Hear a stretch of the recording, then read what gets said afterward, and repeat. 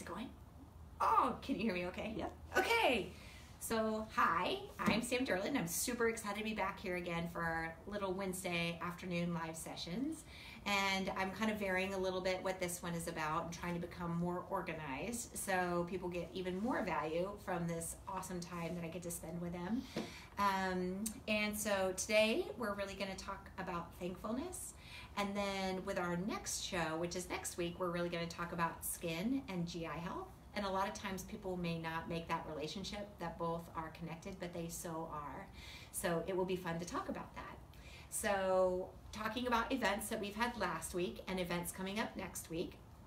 Um, last week we did our first Simple Sundays, and I had so much fun at it. And we did boxing and yoga, and Kathy is amazing that does the sound bath yoga. And with boxing, it was so fun too because I just had the most fun watching people initially be nervous to hit me in the body and in the mitts. And then once they start doing it they get this look in their eye like this feels so good to let all of this go. And i'm like i know it does. So i just found it so fun and so uplifting to watch people um, let go of a lot of this angst that they held on to and have fun and feel like it's okay to stand up for yourself and it's okay to just just fight back so I had a great time. So hopefully we'll do more of those. And then also starting Monday is our Simple Sundays program. And that is just, we are totally going to walk across the United States. And after we walk across the United States, we'll walk around it again. And we'll go to like the national parks and amusement parks. And so the goal is every day, each person who's doing simple steps with us will document their 10,000 steps. And as we all put together our 10,000 steps, because each 10,000 steps is five miles or philosophically 500 calories. So, and it's so easy to do. Being well, as I say all the time, is not hard. It's actually easy. Your body is very forgiving. We just have to prioritize ourselves. So, 10,000 steps can be walking around your home. It could be a walk outside the home. You could walk up and down the steps 10,000 times. Like, I don't care what it is, but if we all get 10,000 steps, we're going to walk to these various destinations together and hold each other accountable. And then each time we go somewhere, we'll get little stickers in our passport book, and it will be so fun. So if you want to do this with us, you can always call to um, join up with us whenever you want, and uh, we're super excited excited to start. So um, the other thing too I want to mention is we have our super exciting skin event with our secret next Wednesday. That um, event is from I think oh 6 to 8 p.m. Wednesday here at the office. And what we're doing is we're highlighting our secret machine, which is our microneedling radio frequency device that helps with fine lines and wrinkles, acne scars, stretch marks. You can use it all over your body. I'm doing my leg. Um, I've done my face. And I just so love this because it has no downtime and it's not very uncomfortable at all. And that's what people want these days. They want to look better, feel better, but not take too much time out of their daily life because time is a factor for absolutely everyone. So we try to be really mindful about that. So anyone that wants to come, just let us know, and we'll have really yummy, delicious treats because Jen over the Jayhawk Club rocks it, and she makes these really great trays. So I'm excited for people to come to this one because I always take the trays home and eat them myself if nobody comes. So please help me eat my food. Okay. And the other really exciting thing is that Lauren is flying back to her home in Pennsylvania this weekend.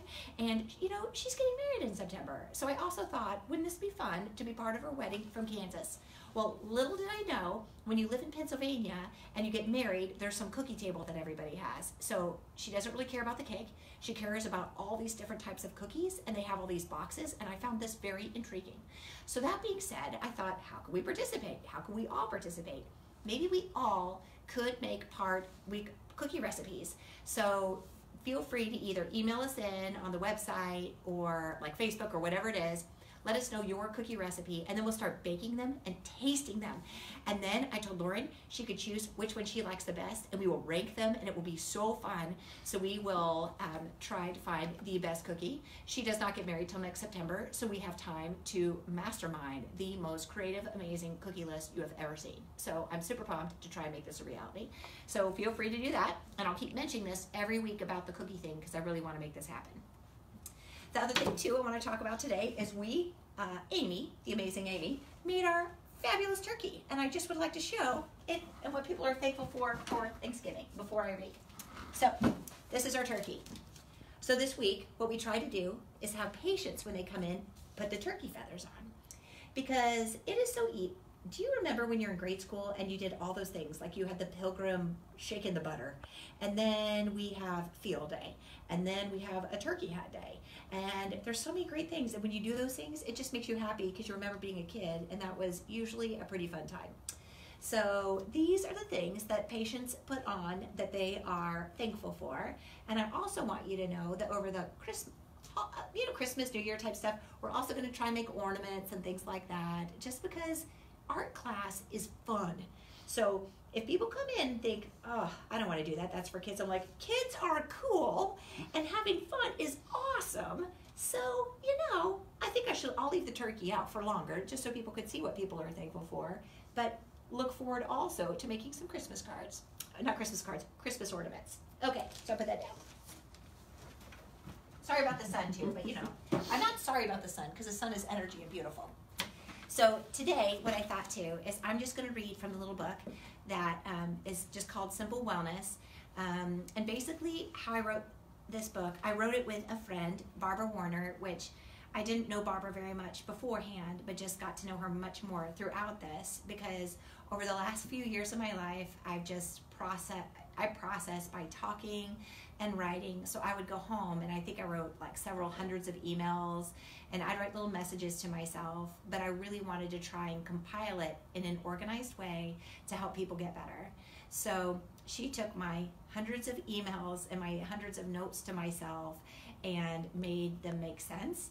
And so, how I look at this is it's just kind of like a guidebook to what we try to help people with here, and, and it's a part of our journey of how we've gotten here as well. Um, and so, one of my favorite parts is the conclusion part. So, I just wanted to read that today in the mind of being thankful because I think what we could all be the most thankful for is our wellness and our bodies and our families. And so, here we go. Okay. I feel like this is library class. okay. Your body has been talking to you your whole life. Have you been listening? Never underestimate its power or that power of the spirit it houses. Your body has the ultimate healing power, and it's built to heal itself if given the opportunity. I believe that wellness is all about embracing that journey.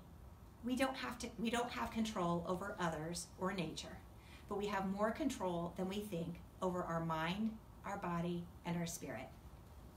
The first third of life is about finding confidence in ourselves. The middle is about work, procreation, or mastering a skill. And the last third is about pondering what it all has meant and coming to peace with our journey. Listening to our body becomes even more important as we age.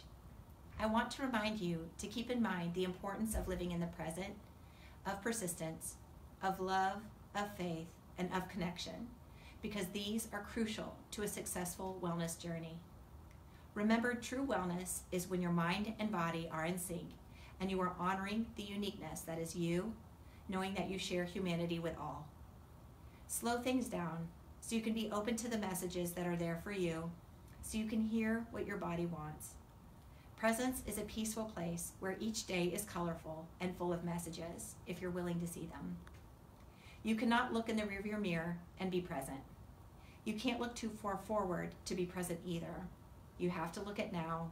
You have to look at today. At whatever age you are, whatever gender you are, remember that you matter. Take time for yourself and for your body's maintenance. Your body is your ultimate warrior, but you have to listen to it. Believe in yourself, and even if something more than yourself. Believe that you're here for a reason and that you have nothing to prove to anyone. You were born perfect and beautiful. You are unique. Revel in that thought. Don't worry about being like everyone else or trying to fit in. Celebrate who you are. Know that you matter, that everything matters. Never give up on your wellness journey. It's a miracle, even the thought that you're alive. It's a miracle that there can always be some measure of improvement. If something has changed, your body is telling you to fix it.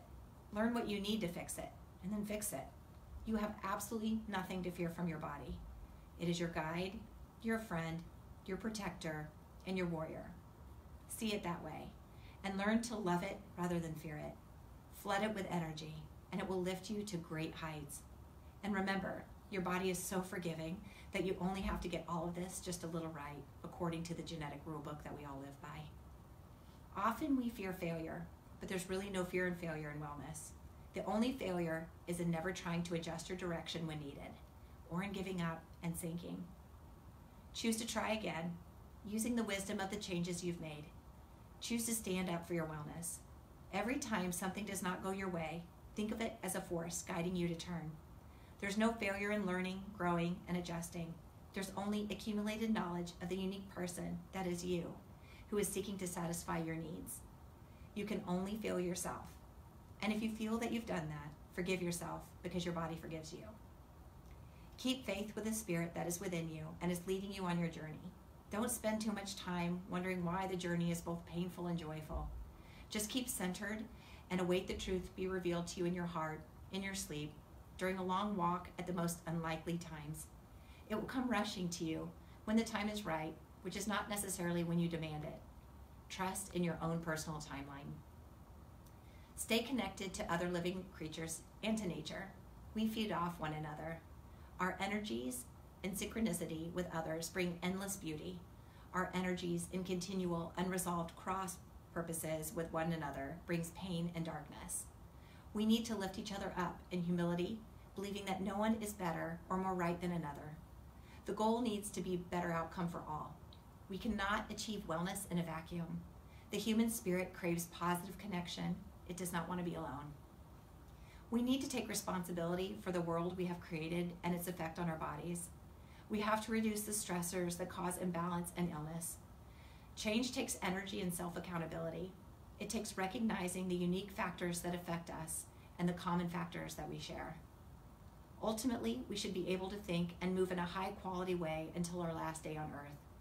There is a finite amount of energy in the world, but whether it is more positive than negative is up to each of us. Making the world a better place starts with each of us. Every thought counts, every moment counts, and as you add more positive thought to your life, the energy around you will change. This journey has been one of the most painful and rewarding experiences for me. I'm going to skip some of this part about myself because I'm like, ugh, you don't need to hear about those things. Um, well, actually, I want to read this part actually. Okay, so this journey has been one of the most painful and rewarding experiences for me. I've given up my classic community of medicine but at the same time, I have found a complete love and forgiveness within my own family. And I've felt greater joy in helping my patients. Healing now is something not what I was taught. Instead, I was what I was taught is a framework for understanding wellness. I now understand more from my heart than from my head. I'm confident that everything in my life has happened for a reason and has brought me exactly to where I am. I am thankful for all the joy and all the pain. I truly believe in what we do. Our body is guiding us to higher places, and our minds are astounded at times at that direction. Let go a little more every day of what you think you should be and learn who you truly are. To think of life this way is energizing while at the same time being terrifying and even harder than a lot of other things we've done in life. While sometimes you can feel alone, you know that ultimately you are never alone. I'm sure I'm meant to be on this journey Sometimes I cry when I read this. I can't help it. Tissue. um, sorry. Anyway. Yeah. Mm-hmm. Just emotion like everyone else, right? It becomes clear every day. But we can't force the timetable or know what's around each corner. You just have to have faith.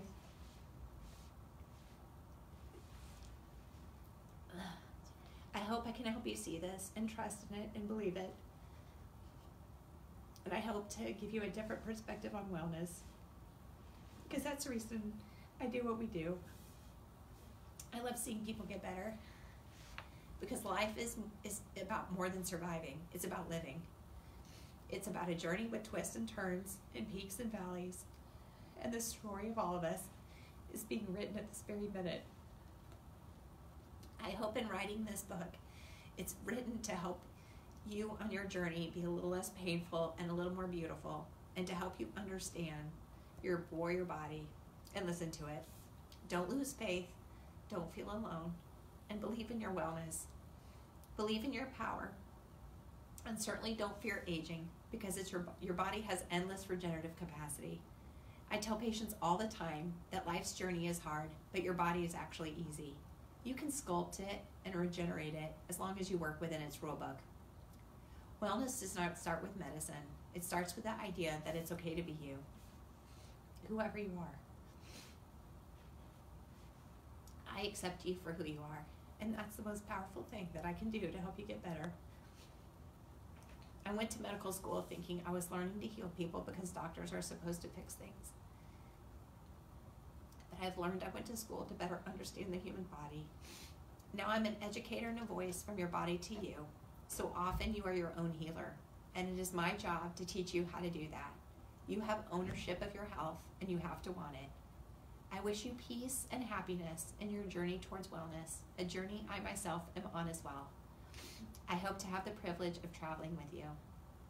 So I'm just thankful for everything. I'm thankful for this moment. I'm thankful for what this is. I'm thankful for my family. And I'm thankful for you. So I hope everybody has a good Thanksgiving. We're all very thankful for you, Sam. and that's all. I won't cry next time. Thank you. Okay, and no questions today. We'll just do them next week. Okay? Okay, bye bye. Bye bye.